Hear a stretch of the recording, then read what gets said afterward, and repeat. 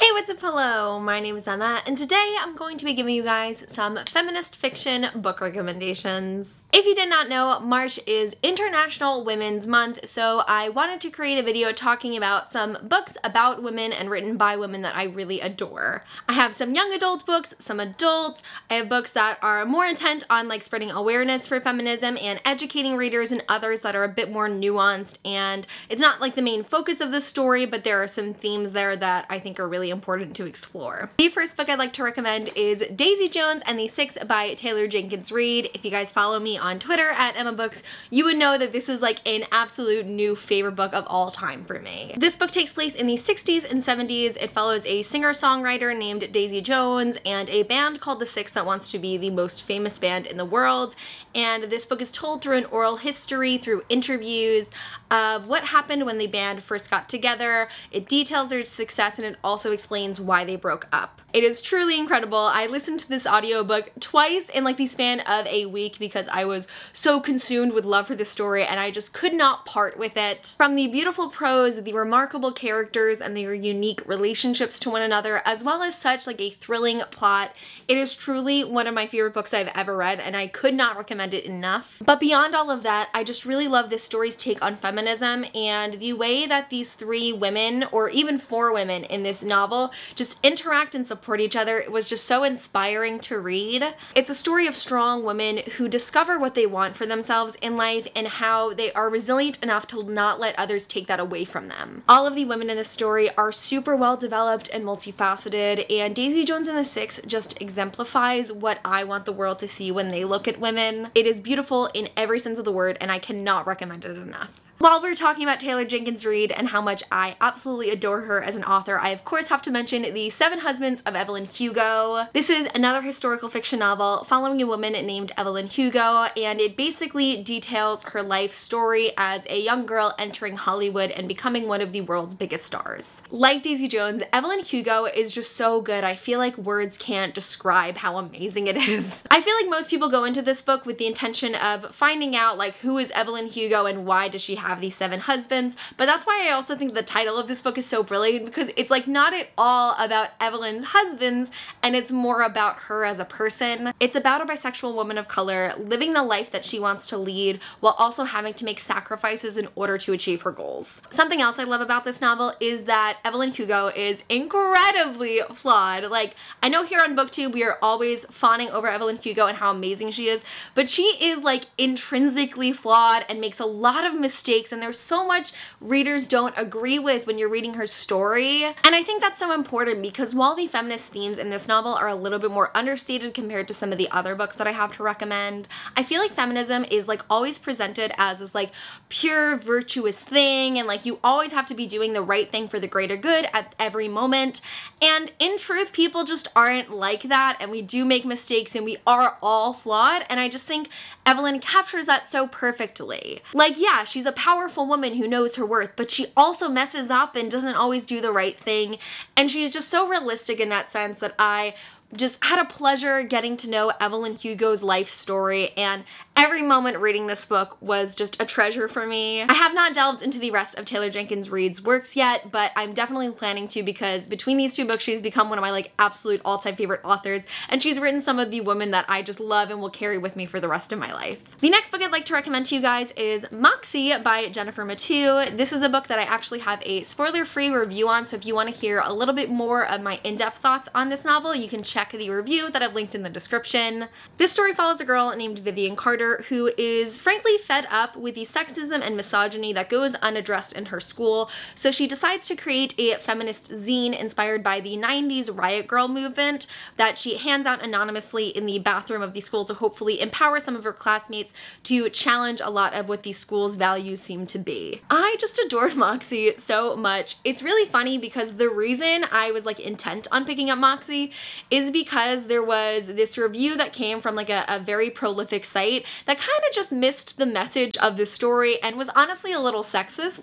And I kind of just wanted to read it to spite it. And I'm so glad I did because I was surprised with how much I really loved this novel. I particularly think Moxie is really great for young readers and for people who are maybe just starting to delve into the world of feminist fiction and really learn more about the core values of this movement and how to implement it into your real life. Like this is a book I definitely think should be a part of like a required reading for a high school English class, not only because I think YA is so much more relatable to teens because it's about people like them who are going through the same issues, but I just feel like it sort of hits all the marks on what I would want the youth to know about feminism. I have a soft spot for teen activism stories because I just really love watching young people be passionate about an issue and really make efforts to change their community. And Moxie is just full of that. But another thing I really appreciated from this novel is that it really is just about like breaking down the cliques in school and realizing that in feminism we are all united under one mission and that really has the power to bring people together and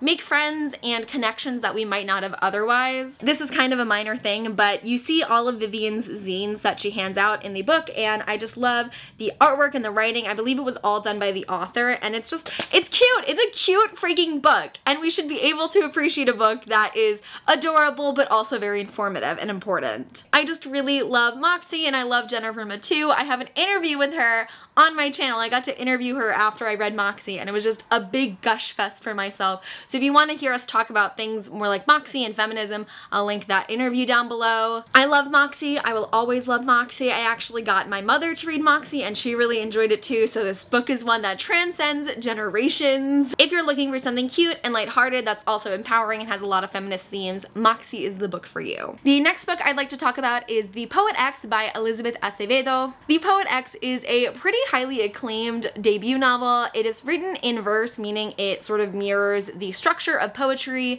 and it follows a girl named Xiomara who is Haitian and Dominican. It's kind of one of those slice of life stories that details Xiomara's different experiences as a woman in the world, as a woman of color, as someone who comes from a very religious household where she's beginning to confront her beliefs and question them. I was so nervous going into the Poet X because I don't like poetry whatsoever and I had never read a book in in verse before.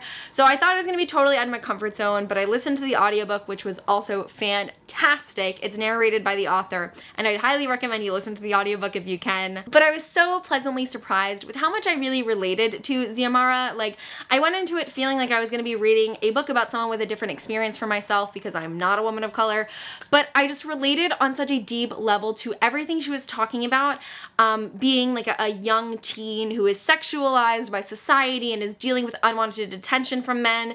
I just felt so seen. Like I had been carrying so many emotions about these experiences that I've had due to being a woman in the world and Xiomara just explained them and it made me feel so heard. It is a short, sweet story that does deal with some heavier emotional issues, but also just celebrates how wonderful it is to be a woman and really, I feel, helps young people know and identify their worth. And it also is written in one of the most beautiful writing styles I've ever had the pleasure of reading. Like, Elizabeth Acevedo is so freaking talented, and I cannot wait to read her follow-up novel, but I was just such a huge fan of The Poet X. It has received so much high praise, like five five-star reviews everywhere, lots of awards and nominations, and it is as incredible as everyone says. The next book I would like to recommend to you guys is The Nowhere Girls by Amy Reed. This book follows three main characters. The first is Grace, who has recently moved into a new home, which used to belong to a girl that was gang raped by a lot of the football players in the community,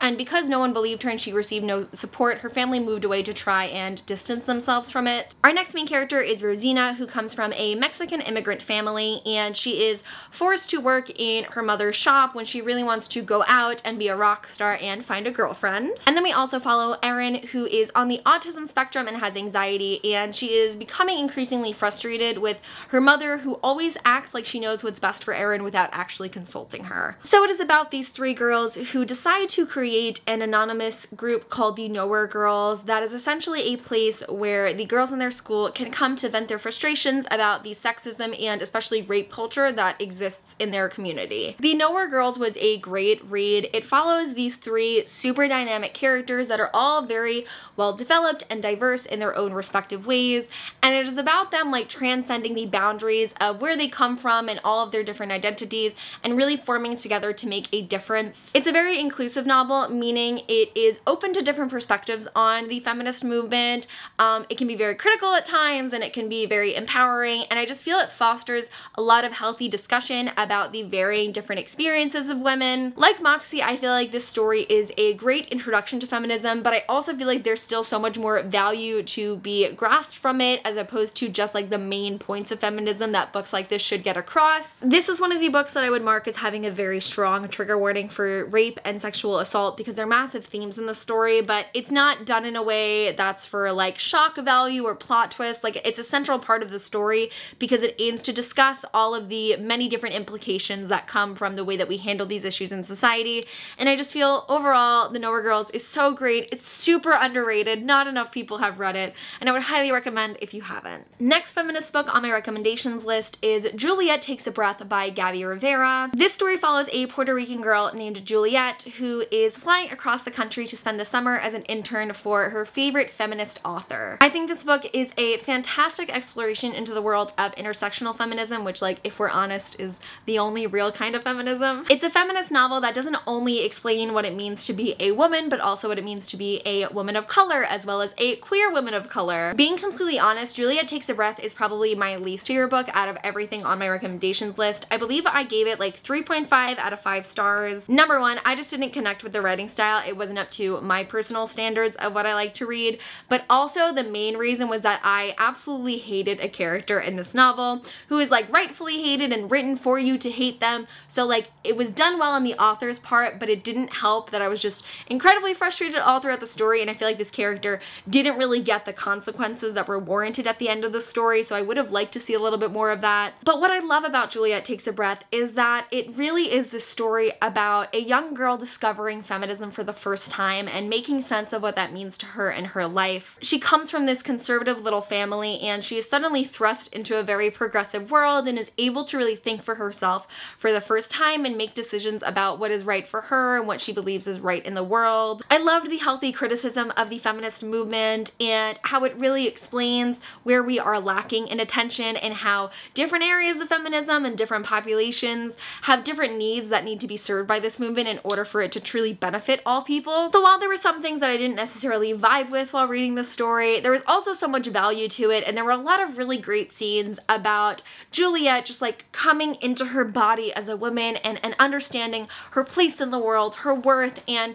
learning when she can really stand up for herself. And for that reason, like Juliet's character development was beautiful and super, super exciting to read. So although it's like not my favorite book in the entire world, I would still highly recommend it if you're looking for some super special and unique and criminally underrated feminist novels. The next book I'd like to recommend is Beauty Queens by Libba Bray. This is an older YA novel. I believe this was published in like 2011 and it took me until this year to read it, but I was so in love with it. It is essentially a feminist retelling of Lord of the Flies. It follows this group of beauty queens that are on their way to this national competition when their plane crash lands and they are the only survivors on a deserted island. Firstly, this is a very funny book. I feel like funny books just do not get enough attention in the booktube world and this book like had me laughing out loud. It was a super fun time. But a big surprise that came along with this book is how much I really appreciated the characters. It does follow like a, a decently big cast of maybe like 12 main characters and they're all young girls who are just trying to fumble their way through survival on this island. It's very diverse which is super important when we're talking about feminist novels because we can't only view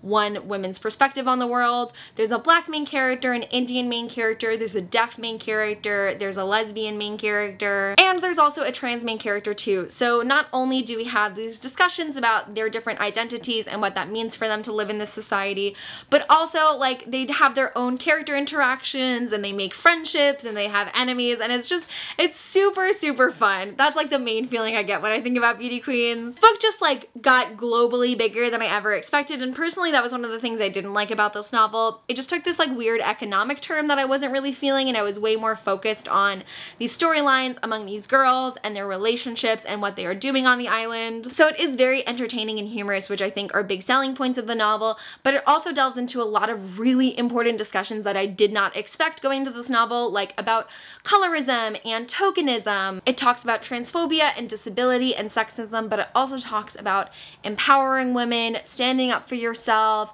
fighting for what you believe in and making the most of yourself. And those are themes that I feel are really, really important for us to capture in young adult novels. Beauty Queens is an overall really great book. I'd highly recommend it if you have not picked it up yet. I feel like just a lot of people don't really see what goes into this book. They view it as like, oh, an all girls Lord of the Flies retelling, but it really is so much more. And the last book I'd like to recommend to you guys is The Female of the Species by Mindy McGinnis. The Female of the Species is a pretty well regarded feminist novel in the young adult community and now that I've read it not once but twice in like the last two months I can absolutely confirm all of the high praise. This story follows a girl named Alex whose sister was brutally murdered years ago and her killer was never convicted so it has really transformed the way that Alex reacts to the world. We also follow a boy named Jack who comes from a poor family in the community and is the star athlete and star student of his school because he needs to get a good scholarship in order to get out. And our final main character is nicknamed PK because she is the preacher's kid and she is currently going through a rough breakup after her boyfriend has cheated on her. So it follows these three main characters who have grown up in this small town together but they only start forming relationships now and it is kind of fueled by their different reactions and perceptions of sexual assault and rape culture. One of the things I love about this story is that it is a contemporary that reads like a thriller without actually crossing into the mystery thriller genre. There is just this overall feeling of suspense and tension while reading that mimics that of a lot of thrillers I've read while still being like a contemporary story. And so I just found that brilliant and very interesting for me as a reader. This book is so short, but I feel like it does a fantastic job of exploring so many different topics such as poverty, grief, sexism, rape culture, sexual assault, etc teen sexuality. There's just so much substance to this book. There's so much to unpack and that's the main reason why once I finished it, I just feel like I didn't fully process everything and a few weeks later I was like, I, I just have to read it again to make sure I got it all. this novel has such a unique and necessary story, but it also has these extremely well-developed and well-rounded characters that subvert these stereotypes that I feel like the book really toys with and tries to transform our view of. It really explores the strong solidarity among women and tells the story of how you may not like someone, but how like when you're a girl, you show up for other girls. And I just loved seeing that message in this story. I definitely feel The Female of the Species is a one-of-a-kind story. I do feel like a lot of people have read it, which is why I left it till the end of this video. But if you haven't managed to get your hands on it yet, I'd really, really recommend you read it. I just think it is so unlike almost any book I've read before, and it's one that I will definitely treasure my experience reading. So that concludes my feminist fiction recommendations. I really hope you guys enjoyed this video because I've been wanting to talk about some of these books for so long. I just really love feminism. I love talking about it. I love celebrating women, especially these incredible women authors and their incredible women main characters. I love what the women of the past have done for me and the way that they have enabled me to live my life. And I also love that the tools and knowledge they've provided me with in order to continue making this world a more equitable place. So in the comments below, I would love to know your thoughts on any of these novels, any books that you would recommend to me that have some strong feminist themes, or just any feelings, thoughts, or, or, especially great ones that you have about feminism. I would love to hear them in the comments below. But that is it for this video. Thank you guys so much for watching, and I will see you soon for a new video. Bye!